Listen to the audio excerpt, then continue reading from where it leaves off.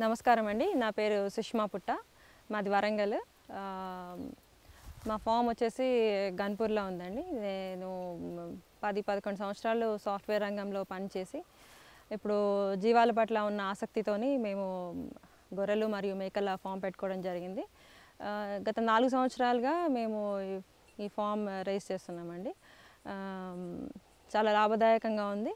దీంతోపాటు ఇంకా వాటికి కావాల్సిన పశుగ్రాసాలను కూడా మేమే సొంతంగా పెంచుకుంటున్నాము.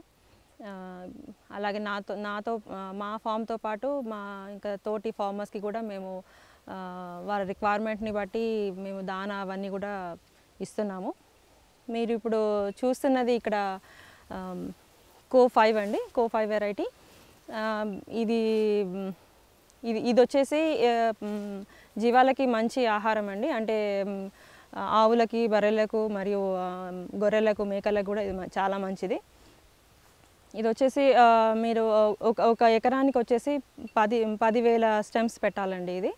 Forty five angles degree forty five యాంగిల్స్లో పెట్టాల్సి వస్తుంది.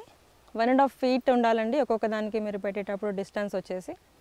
అండ్ ఇది దీనికి వాటర్ చెప్పాలంటే అంటే మే జూన్లో అలా పెట్టుకోవచ్చు ఇది అను అనుకూలమైన కాలము పెట్టుకోవడానికి. అండ్ వాటర్ వచ్చేసి వర్షాకాలంలో ఎనీవేస్ వాటర్ వస్తుంది.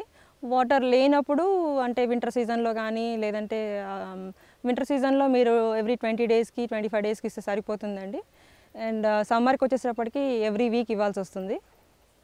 అంటే వాటర్ బాగా ఉన్న వాళ్ళకైతే వాళ్ళకి దే హ్యావ్ సఫిషియంట్ వాటర్ కాబట్టి సరిపోతుంది. బట్ వాటర్ తక్కువ ఉన్న వాళ్ళు మాత్రం సమ్మర్లో వారానికి ఖచ్చితంగా ఒకసారి ఇవ్వాల్సి వస్తుందండి.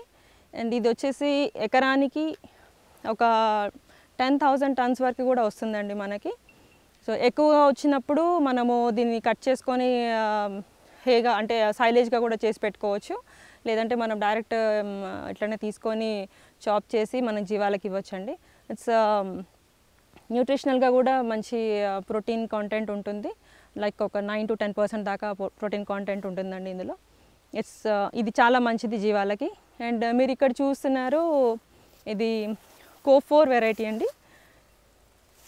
కోఫోర్ కోఫోర్ వెరైటీ ఇది. ఇది కూడా దీనికి కూడా సేమ్ అండి. లైక్ టెన్ థౌజండ్ స్టెమ్స్ అవసరం అవుతుంది ఒక ఎకరానికి. అండ్ వాటర్ కానీ ఎవ్రీథింగ్ అంతా కూడా సేమ్ కోఫై లాగానే మనం యూస్ చేయాల్సి ఉంటుందండి.